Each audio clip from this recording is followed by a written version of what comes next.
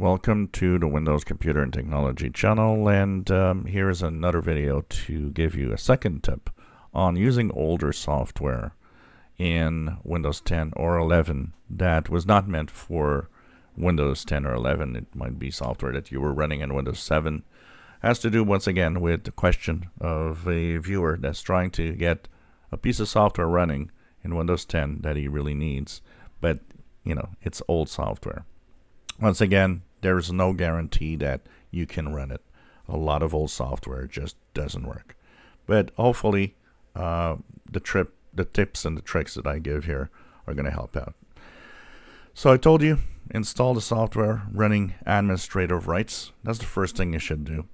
Um, and if it runs, if it actually installs successfully, that's actually the first step. That's nice because it means, you know what, it actually did what it had to do didn't you know encounter any errors what's next? Of course you will click on the icon and have it working. If it works congratulations. It might look weird sometimes. It might access the the screen or access windows in a way that find weird but if you can at least use it and do what you want you've successfully had that first step.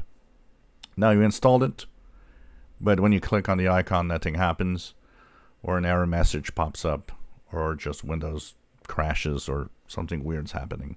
What else can you do?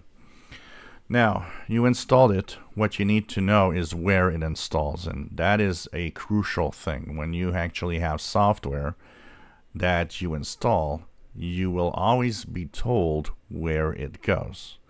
So I, an example that I was using in the previous video is this one here.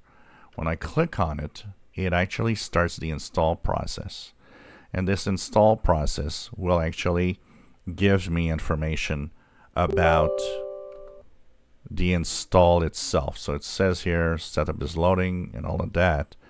And pretty much all the software that you use will at some point, especially the older software, it's going to tell you, yeah, okay, next to continue. And it's going to tell you what it wants to do. It often will actually tell you where it wants to install so you'll look at the next steps and install for anyone using, just for me. Um, and look at all the info, where it goes. And here it tells me it goes into program files and into this folder called Simon's World Map. So it tells you exactly where it's going. Program files, Simon's World Map, in the C drive. So let's cancel because it's already installed.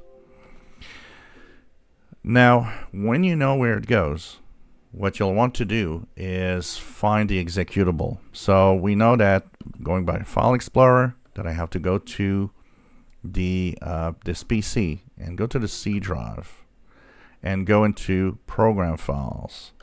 That's where it installed. And then I'm going to search what's called Simon World Map, and it's here.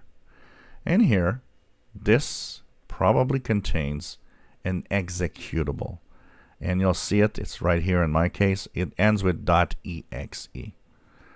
What you want to do if that doesn't start because when you click the icon that's what works on the software you use. And of course your software will have its own name its own location.